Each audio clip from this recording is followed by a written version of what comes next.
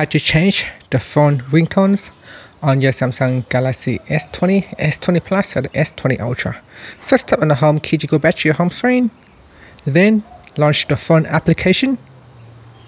Next, tap on the option button at the top and choose settings from the pop-up menu. In the call settings page, tap on call alerts and ringtones.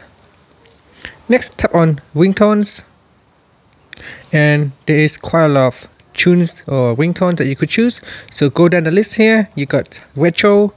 So back in the days in the 80s you got uh, fun. So all the ringtones that sound fun. Now you can choose calm.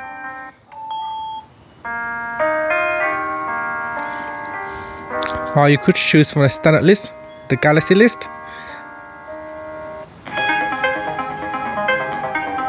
You can even choose your own custom ringtone. If you want to choose your own custom ringtone, just simply tap on the plus button here at the top and then you can choose a ringtone. So select a ringtone or just tap on the back key. So that's how you can change a ringtone. Choose from the list and then tap on the back key to go back and that will automatically save as a new ringtones for you. And that's it. Thank you for watching this video. Please subscribe to my channel for more videos.